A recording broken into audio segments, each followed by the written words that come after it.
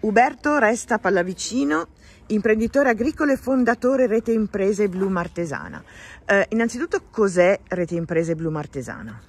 Allora, la Rete Imprese Blu Martesana è l'idea di eh, sottoporre un più largo spazio territoriale che non si limita alla semplice azienda agricola ma si allarga a tutti i vicini per dare al territorio un'uniformità di immagine, di manutenzione, di gestione e dimensione.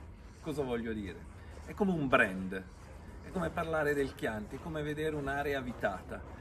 Eh, quando si è nelle nostre campagne ci sono tante differenze, chi pianta gli alberi, chi non, chi mette le sbarre, chi non, eccetera, eccetera. Noi abbiamo pensato invece che una certa parte del territorio, se aveva un'uniformità gestionale, aveva anche una qualifica estetica Oltremodo poi aveva una dimensione economica, perché oggi ci sono attori appunto come la Barilla, attori industriali, che quando si approcciano al mercato, secondo me avrebbe molto più senso che vi fossero pochi attori e quindi un'offerta di pochi rispetto a pochi compratori che abbiano però una gestione uniforme del mercato delle produzioni, quindi con la disponibilità di eh, territori più vasti e sotto una certa anche eh, amministrazione che rispetta le loro stesse esigenze. Quindi appunto parliamo di gestione agricola che rispetta i criteri benefit e che ha un certo costo di gestione perché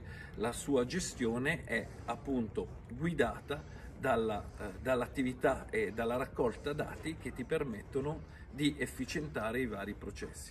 Oggi parliamo di dati e di sostenibilità. Perché questo binomio oggi sembra inscindibile? Perché rispetto a quello che era un obiettivo di gestione, pensavamo che buttare più diserbanti, buttare più eh, eh, fertilizzanti e uso proprio la parola buttare, eh, perché non qualificata dalla gestione di nessuna misura, ci desse un maggior risultato. Nel momento in cui invece noi gestiamo i dati, utilizziamo diserbanti, utilizziamo fertilizzanti nella quantità e nella maniera che è richiesta effettivamente per ottimizzare il valore di produzione. Quindi tra buttare e utilizzare c'è, diverso, c'è di mezzo la parola quantità, che deve essere misurata. Ecco, un altro, un altro aspetto, ovviamente big data, analytics sono fondamentali, però oggi abbiamo parlato anche di sensoristica, quindi una tecnologia come l'Internet of Things, l'Internet delle cose, che ruolo gioca? Gioca un ruolo fondamentale. Eh, parlo del nostro ultimo progetto che è quello appunto di andare a rendere eh, irrigabile attraverso una fertirrigazione di una, di una rete subterranea per circa 180 ettari eh, un certo territorio. Questo ehm, per essere svolto e per essere svolto in maniera effettiva deve essere anche in questo caso misurato e gestito nel momento in cui ce ne sia la necessità.